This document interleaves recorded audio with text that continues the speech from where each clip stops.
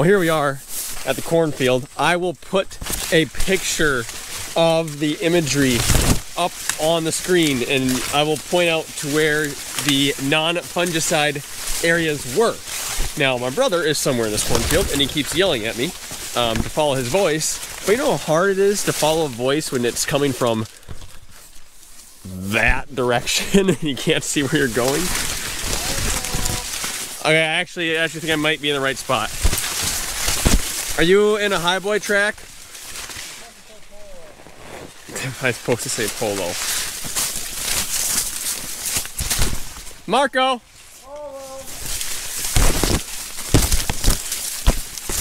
So for those of you guys who do not know, Corteva sponsored this video and they sponsored a previous video where I used their Aproach treatment fungicide in a trial against a competitor. Now, it's not, it's hard to see difference between the competitor and, Cort and the Aproach Prima right now. However, uh, you can see a big difference between the untreated and the treated. So Corteva did not pay for the products. Um, they did not like micromanage uh, the trial. In fact, they told me to do the trial however I want. All, all they're doing is paying for the video. All right, so I found my brother. We're in here. To the right is the Aproach Prima fungicide. To the left is the untreated. And now, Chris, you want to show them what you're explaining to me here? Yeah, so just uh, I'm just looking through the canopy right now, and obviously there's going to be some drift overlap into the into this row, but this row is the last row of the Aproach Prima. This is the last row of the untreated, and I can just there's a lot more green lower in the canopy on the Aproach Prima, um, prima, however you want to say it, and then uh, here on the untreated, there's just uh, I don't know if the camera can pick it up or not, but there's just a little more uh, a little more brown and, and depth in the lower canopy. So let's just point out, it's like right here, see all these green leaves right here? You come over here, the one right next to it on the untreated side Yep. is brown and kind of shriveled up. And it's like that for a long, for all the way down here. The other thing is this corn's about half milk line to two-third milk line. And on the untreated side here, we're already starting to see a little bit of uh, ear droppage. Uh, there's one right here. There's one right there on that plant. Uh, they're really, I just, I don't, I guess there is one over there on that, but there isn't as much leaf droppage, or excuse me, uh, ear droppage. And when that ear drops, it is uh, that there's no more energy or sugars going into that ear, so it is it is done producing. So uh, I guess the idea of fungicide is to keep that plant live, uh, alive longer for about for another two or three days, to hopefully pack a little more uh, sugars and starch into that ear, get five to fifteen bushel better, um, better yields and better standability. So, so yeah. Yep. So one thing, we've been a little bit wetter this year. We had a hot, humid summer, so that kind of helps um, with the fungicide application. If you have a dry year, it doesn't do as much. So we're sitting, this is probably the most difference we've ever seen between the fungicide and non-treated stuff. Yeah, I mean, in the last two, three years, that's for surely in the last two, three years. Um, I mean, I think we have some unbelievable potential, yield potential here. Uh, a lot of these are 14 by 35 or 14 by 40 kernels. Um, I think that's uh, somewhere in the 230 to 40, 50 bushel ballpark. So hopefully, uh, hopefully it converts into bushels in the combine. Yep, and I will for sure show you guys um, the yield data and the trial data from that once we actually combine this field. But until then, yeah, no, this is looking absolutely incredible.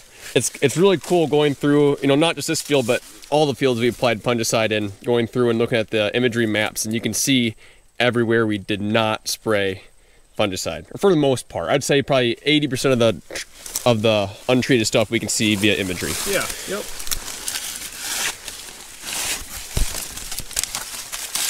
That is some good looking corn. Yeah, almost every ear looks like that. Are you seeing, I mean, I know you've walked through corn, more cornfields than I have. Just in general, are you seeing much for diseases in the untreated stuff or not really? Um, some varieties, yeah. Um, I've been seeing some northern corn leaf blight, and maybe Okay. maybe if we find some today, I can show you. Okay. And then I've been seeing a gray leaf spot, and but no tar spot. Thank goodness, we're a couple counties away. I was kind of afraid it was gonna be this year, but I haven't, I haven't heard of any yet. I shouldn't say I haven't seen any because I haven't walked through much, but yeah, I guess if we if we see some some disease, we'll, we'll point it out. Yeah, because like this stuff, you said that's just pollen rotting in the Yeah. in the leaves, Yep, right? So the pollen falls from the anthers and the tassel, and then it, Yep, just gets in there and rots. yep, it molds. It's molding. So. Interesting. Okay, here's some northern corn leaf blight. Um, you could tell it's northern corn leaf blight by the way it looks, or the way it is. The way it is. You can tell it's an aspen because the way it is. No, it's uh, it's usually cigar shaped, um, and about three three to I don't know eight inches in length. Um, that's definitely northern. This is also definitely northern. And just to be clear, we're talking about those brown spots on the leaves there, like Yep. right. Northern corn leaf blight. Here's another one I dropped. And I believe, now someone can argue with me, I think this is a longer lesion here. And then right here. Um, so basically, uh, as this plant keeps progressing, this disease will probably spread and create or make the plant die a lot quicker. So that's that's why we spray fungicide, I guess. Yep, yeah, we're in the untreated stuff right now. So. Correct, correct. Yep. So what's the difference between gray leaf spot and northern? So gray leaf spots is uh there's I guess they're smaller, mostly rectangular, interveinal uh, in the leaves. I think this is gray leaf spot. I think this is gray leaf spot here also. There's also one on this leaf here. I think that's gray leaf. So we say spot. interveinal.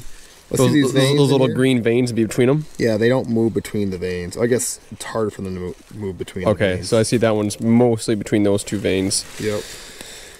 That one, I don't. that one is cut off at a at a vein too, though. I don't know if that is or that's just a leaf imperfection or Okay. something. But I, I believe this spot is and this spot, but don't. I'm not. I'm not 100 percent sure. About 90 percent sure. So sometimes it's more of a plant health, you know, fungicide helps plant health also. So just because we don't see diseases out there, it, it, it, relieve, it relieves stress throughout the growing season uh, compared to untreated. Okay. Hopefully, you guys can hear that. I know, I know. It's been a little bit since, I've been on YouTube. I took a little bit of a break when I started college. I hope that's okay with you guys. But we are back today, and well, I'm gonna give you a little update because not much has happened in the past couple weeks. We're kind of like in a lull where there's not much to do. Um, but we have done a couple things.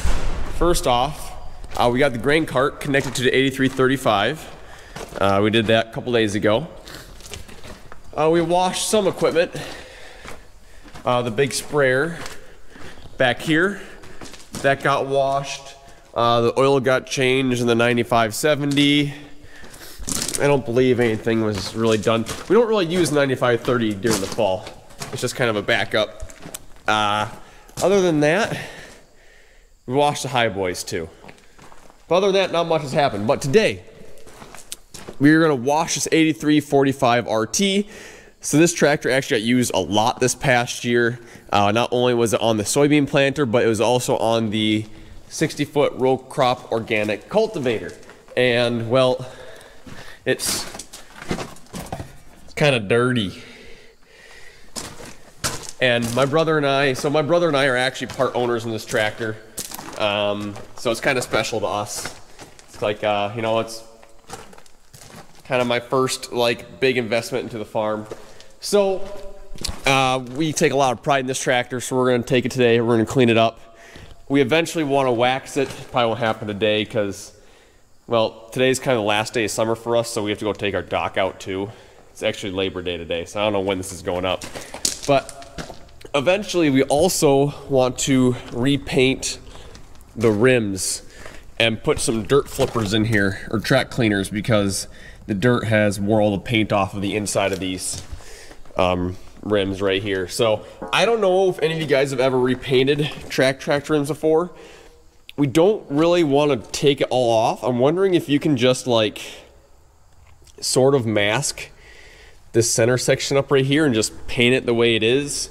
Um, so if you have any tips on that or anything, leave that down in the comments below because I'm genuinely, genuinely, genuinely interested. Well, while I'm waiting for my brother to get down, I guess I can move everything else that's in the way here.